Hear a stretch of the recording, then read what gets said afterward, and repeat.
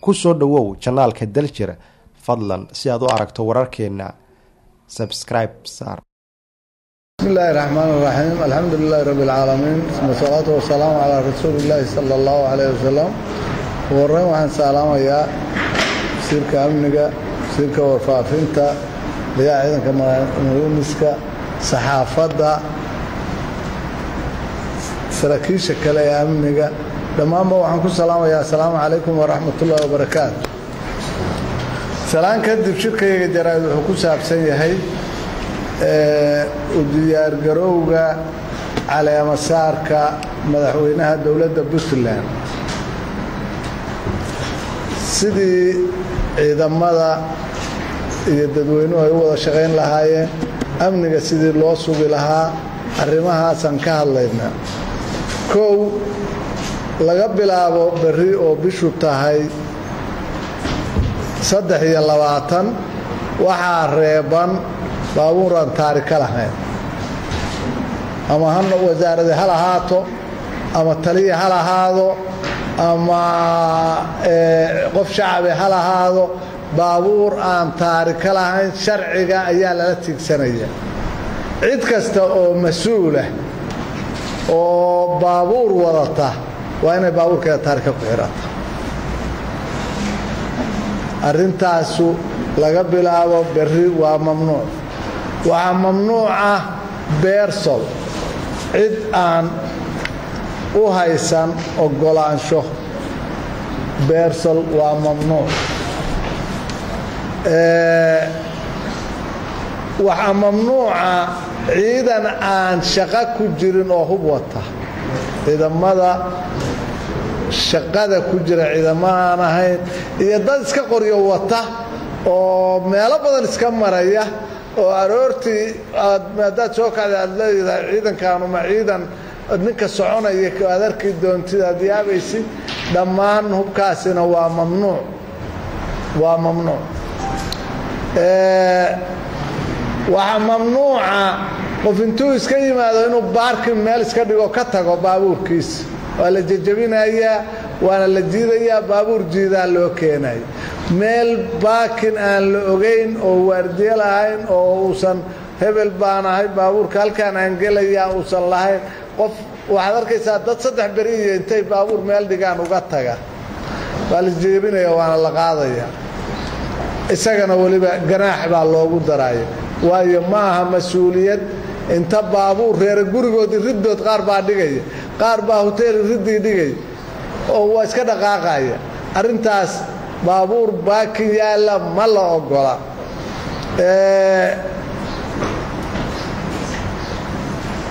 waxyaabaha kale oo mamnuuc ah waxa weeye in baabuurta aan shaqada ku jirin oo qoryuu saaran yihiin ama baabuur ciidana. Waxaan ka codsanaynaa ciidamada kala duwan inay baabuurta xeryahoodii iyo meelihii ay joogeen ay geystaan. Lama ogola si amnigu inoo ku sogmo amniga cid gaara dani uguma cid walba dan baa ugu jirta. Cid walbana inay ka shaqayso. Cid walba inay gacan siiso.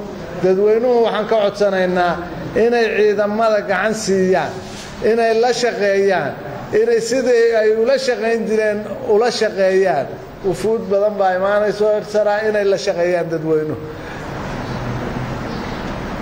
ciidanka waxaan ka codsanaynaa aan ciidamada farayaa in dadweynaha si dhaqan wanaagsana lagula dhaqmo dhaqan wanaagsan in lagula dhaqmo qofka xataa khaldan in dhaqan wanaagsan lagula dhaqmo loo nasteexeeyo la yidhaahdo sidaan iyo saan lama ogola iyadoo aan la caayin iyadoo aan xabad lagu ridin iyadoo aan qori lagu fiiqin in la yidhaahdo qaabkaan aad u socotid iyo sida aad ku socotid waa khalad. Sidaanaa sharcigu yahay sidaan iyo sidaan mar.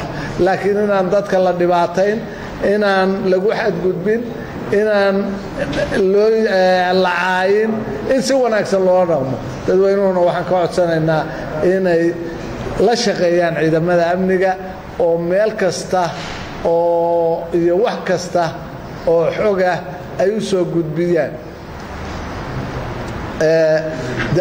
Ciidanku idinku inii shaqaynayaa ciidanku amniga innagoo dhan baa daniinii ku jirtaa waxaan codsanayaa qof kastaahi nambarada waa la yaqaan inay ciidanka si toosa ula shaqeeyaan. Qof kastana inuu isaga iska bilaabo gurigiisa guriga ku xiga dariskiisa hoteelkiisa inuu horta amnigeeda iyo cidda ku jirta iyo amnigeeda inuu sugo. Gaadiidka lix iyo labaatanka oo kale shan iyo labaatanka gaadiidka ama lix iyo labaatanka gaadiidka meelo cayiman baa loo samaynayaa oo ay maraan xilliyada qaarkoodna waa la xirayaa meelo cayimanna waa loo samaynayaa. Waana soo sheegi doonnaa meelaha loo samaynayo wakhtiga ay gaarto. Laakiin dhaqdhaqaaq badan baa la xadidayaa intaa haddaan idhi waxaan wixii kale u daynayaa ragga iga dammeeya waana mahadsantihiin asalaamu calaykum waraxmat ullaahi wabarakaatu بسم الله الحمد لله والصلاة والسلام على رسول الله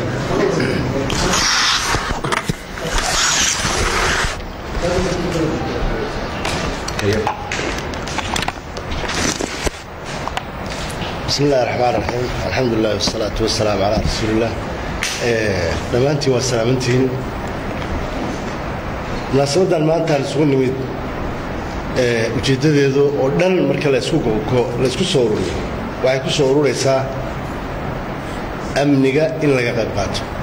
Shacab ciidan ururada bulshada dhammaan. Waxa keliya oon anigu maanta aan rabaa inaan halkan aan fariin adag uga diro waxa weeye waa ciidamada. Askari aan howl ku jirin oo qori wataa oo suuqa maraysanayaa waa qabasho. Haddaba taliyaasha ciidamada kala duduwan ee jooga magaalada waxaan u sheegayaa in laga bilaabo maanta ay ciidamadooda xeryahooda ku haystaan. Xeryaha inay ku xareeyaan ciidan waxaa hub loo ogol yahay oo keliya waxa weeye iyo gaadiidba gaadiid ciidanba ciidanku hawsha ku jira. Bas ciidankaas gaawaaridoodu stambs baa ku dheggan waa gaadiid la yaqaano intaan baa socon kara. Waxaan idinka codsanayaa mar labaad inaad arrintaas naga caawisaan oo aad ku ekaataan xeryihiin sida muxidiinu ka dhawaajiyey waa sax waxaa jirtaa gaadiid. Dawladdu ay leedahay oo aan taargaba lahayn xataa. Ma ogolaanayna dhammaan waan qabanaynaa waana la wareegaynaa gaadiidka taarga hadduu gaadiid dawlo yahay ku soo xir ga'da hadduu gaadiid shacba yahay ku soo xir tiisi shacabka dadweynaha waxaan uga baahan nahay shacabka reer garoowe reer puntland. Waxaan u baahan nahay la'aantiin inaad nala shaqaysaan ma ahane shaqo ma soconayso marka waxaan idinka codsanayaa inaad nala shaqaysaan. Wixii harana insha allahu waxaa noo dhammaystiri doona wasiirada.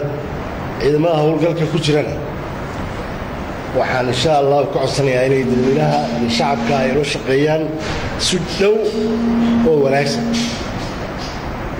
Oo aan dhibaatayn lahayn. Shacabkuna inay tilmaamaha la siinaya ay qaataan. Waa intaan keliya wabillahi towfiiq asalaamu calaykum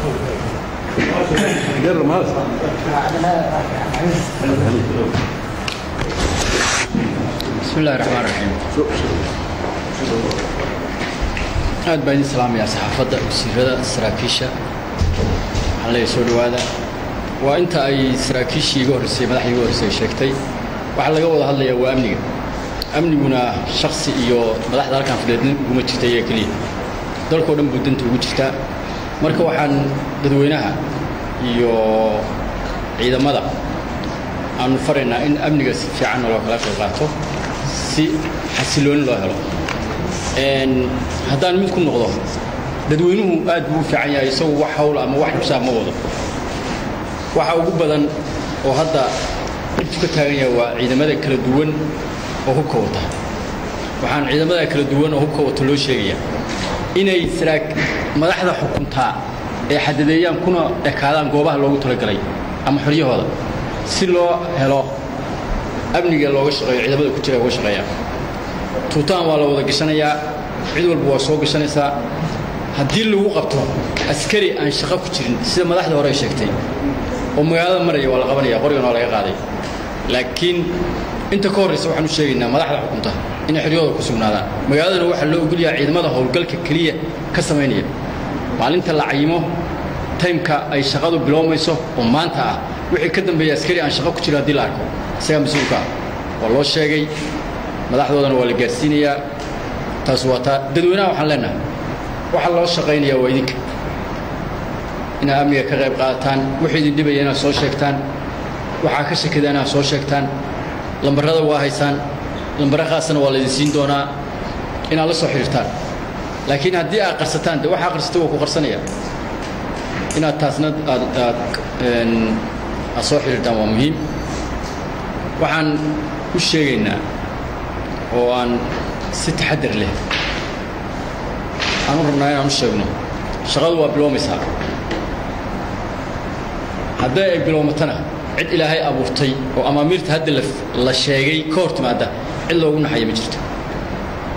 Hadduu yahay baabuurtan hadda laga shaqamiyo dowladdu ay leedaha bilaa taarikada ah hadduu yahay ciidan iska soconaya mid ilaahay abuurtay oo loogu joojinayaa ma jirto.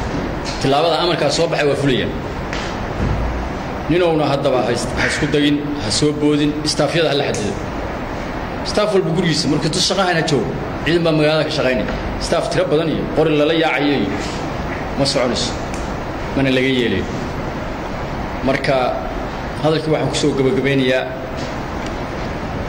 shaqo wanaagsan iyo dadku inay nala shaqeeyaan si wanaagsan noola shaqeeyaan ciidamada sida uu jenaraal muxiidiin sheegay waxaanu faraynaa inay shacabka si wanaagsan uga dhaqmaan inaysan shacabka dhibaatayn waxay u shaqaynayaan inay ogaadaan inuu shacabka yahay. Inay soo dhoweeyaan inay tartiib wax weydiiyaan inay su'aalo weydiiyaan. Qofka mas'uuliyiin badan baa maraysa. Khasab maa ciidanku inuu wada yaqaan. Laakiin ciidanka waxaan faraynaa inay mas'uuliyiintaasi haddii ay garan waayaan u sheegaan saraakiisha ciidanka xukunta si iyagu ay u ogaadaan. Laakiin inay dadka la soo dhoweeyo in si fiican loo dhaqo waanu ciidamadana faraynaa. Haddii la admo waana ka baxay soo dhowaada. Wasalaamu calaykum waraxmatullahi wabarakaatu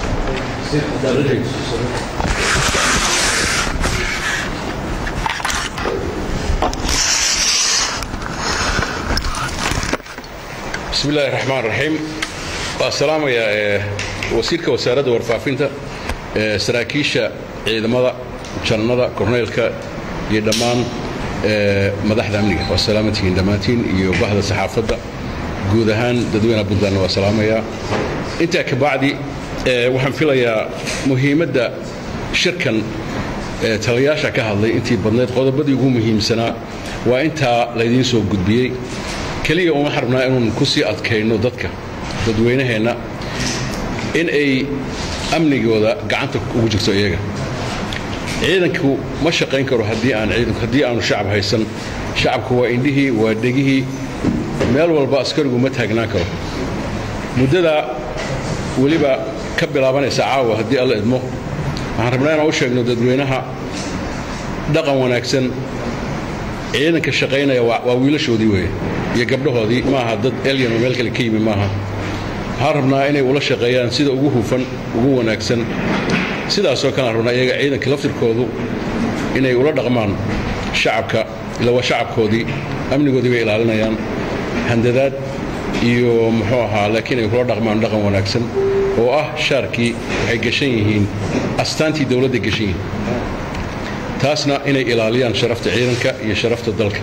Intaba waxyaabaha aan rabo inaan aad ugu sii adkeeyo waxaa ka mid ah dadka soo gelaya iyaga oo qoryo wata magaalada la dhex maraya oo aan ahayn dad ciidan ha noqdo shacab ha noqdo qof aan shaqo ku jirin oo qori magaalada ku dhex wata amarku wuxuu yahay in lala wareego qorigiisa isagana la xidho haddii uu shaqo ku jiro waa in la ogyahay shaqadiisa waxay tahay.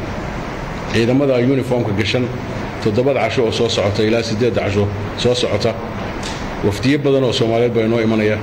Waxaan rabnaa wafdigaas iyo shacabkeennu dhammaantoodba iyagoo nabada haddii alla idmo in hawshaas ay ku dhammaato caleemasaarka madaxweynaha cusub ee siciidani haddii alla idmo waxaan rabnaa inaynu maadaama aynu nahay dawlad majuur ah dawlad labaatan sano jirtay inay naga muuqato dawladnimadu inaynu muujinno inaynu nahay qaangaar inay si dadka kuwa kalena ay noogu daydaan taa waxaa ii raaca waxyaabahan baarkinnada oo runtii janannadu ay ka hadleen gawaari waxaa jirta hoteellada hortooda lagaga tago.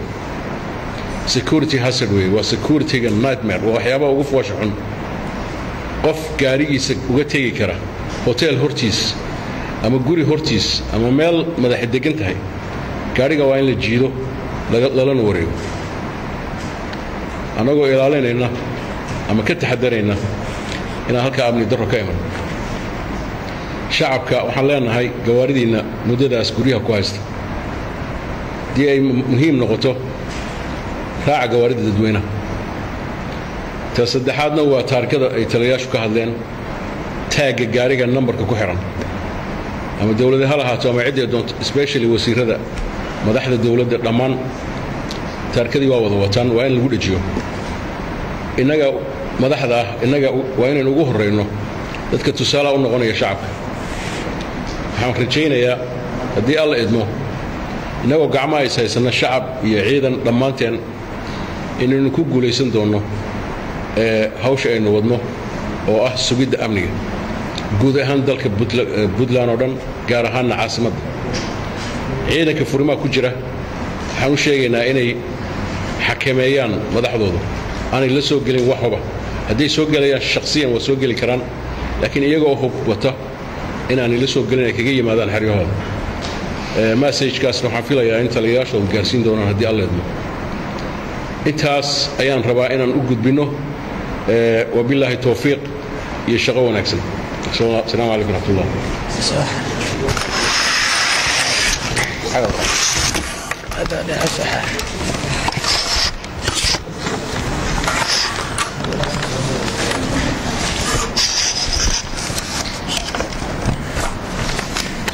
bismi illaahi raxmaan iraxiim alxamdu lilaahi rabi caalamiin marka ugu sarraysa waxaa salaamayaa wasiirka wasaaradda amniga taliyaha ciidanka booliska taliyaha ciidanka b m b f taliyaha ciidanka b s f agaasimayaasha saxaafadda iyo saraakiisha kaloo halkan fadhida iyo ummadda soomaaliyeed gaar ahaan ummadda reer puntland meel kastoo joogaan waxaan ku salaamaya salaanta islaamka assalaamu calaykum waraxmat ullahi wabarakaatu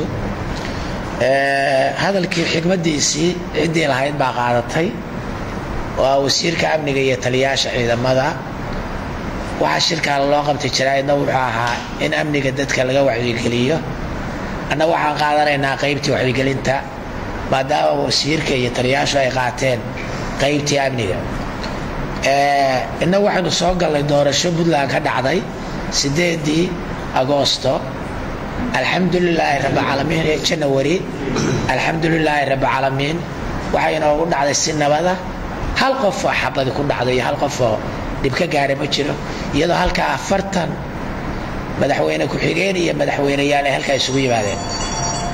Mahaddaa waxaa leh dadweynaha reer puntland guud ahaan gaar ahaanna waxaa leh ciidamadii amniga u xilsaarnaa oo jananadoodii hadda ay halkaan fadhiyaan iyo dadweynaha reer puntland la shaqeeyey ilaahay mahaddi weeye maantana waxaynu ku xojinaynaa lix iyo labaatanka bishaan inay dhacdo xafladdii caleemasaarka madaxweynaha dowladda puntland siciid cabdulaahi deni iyo madaxweyne ku-xigeenkiisa haddii ilaahaydan ka dhigo waxaa imaanaya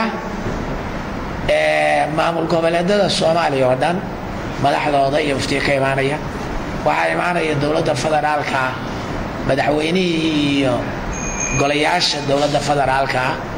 Waxaa imaanaya dowladahaan dariska nahay madax ka socota. Waxaa imaanaya ajnabi kala gedisan oo safaarado iyo maxaan kuu sheegaa hay'ado kala gedisan baa imaanaya. Arrimahaas oo dhan waxaa la rabaa marka dadweynaha reer puntland maadaama doorasho ay u dhacday si deganna ay ku dhacday xafladuna inaynu dabada iska sii raacsiino si deganoo amniya in la ysaga raacsiiyo.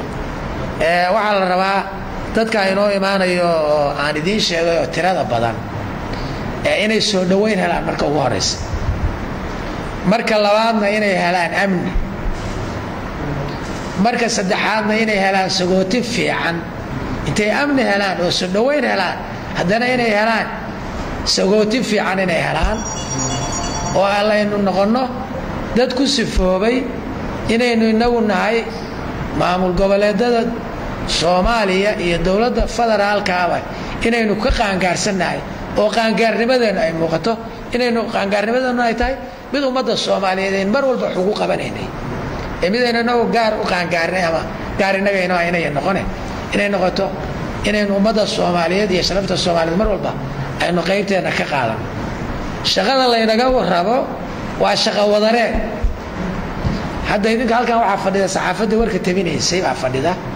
Dadka shaqada ugu badan laga rabo baa tiinay meesha waftigu ka soo tegayo ka soo degaya inaad joogtaan meelaha waftiga la dejinaya inaad tabisaan sida maaragtay shirku u dhacaya inaad tabisaan annaguna waxaanu teerigarayn lahaa accesskii aad.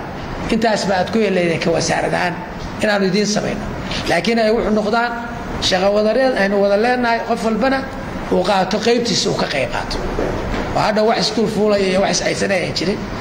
Saxaafadoo kale waxaan siinaynaa kaararkii saxaafadaan siinaynaa iyo goobaha laga soo degayo inay tagaan iyo kulligiin dee konton nin ama siddeetan nin lama heli kare dad kooban inaa intaa isu tagtaan laftigiinu aad soo samaysataan aad warka ee idinka laftigiinu ee aad maaragtay aad kaararka laydin siiyo oo ee guddigiina iyo ay isu tagtaan oo aad la timaadaan waanu rabnaa aad iyo aad baan marka dadweynaha reer puntland meel kasta uu joogo. Aan leenahay amniga ha laga qayb qaato sida jananada iyo seegeen wasiirkuna war qof walbow intaa qaban kadhid qabo. Qofna lagama rabo wuxuusan qaban karin. Qof kasta oo shaksiya mid baa wuxuu soo sheegi karaa dembiilaha mid baa dembiilaha isagoo aan ciidan ahayn qaban kara mid baa guriga uu degan yahay cidda ku soo saaiday sheegi kara.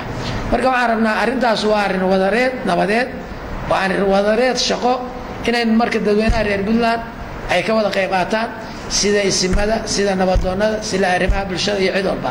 Marka aad iyo aad baan arrintan u soo dhawaynaynaa waxa weeye lix iyo labaatanka ayaa waxaa dhacaysa. Xafladdii maarata calamasaarku ay dhacaysaa. Waxaa inooga harsan baan u malaynayaa. Saddex maalmood baa inooga harsan. Ama afar maalmood marka aad iyo aad baan idinka mahad celinaynaa qoladiina saxaafadda iyo cid walba. Cid walba oo soomaaliyeedna arrintaas soo dhawayso assalaamu calaykum waraxmat ullahi wabarakaatu su'aal waana su'aali karnaa maxaa udaysa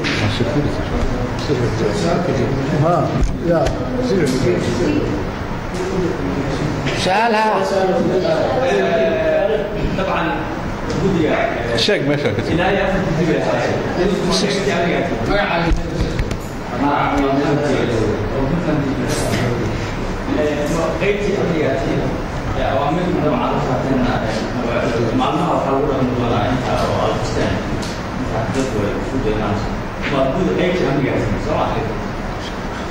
anaa ka jawaabaya su'aasha. Adeer waxa weeye halkan waxa weeye wasiirkii guddiga amniga oo wasiirka amniga iyo janamadii ciidamada.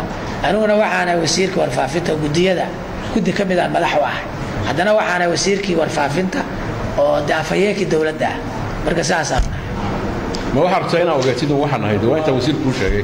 Guddiga guddiga amniga iyo guddiga wacyigelinta. Waa isku wada jiraa kulli haye maxaa kale?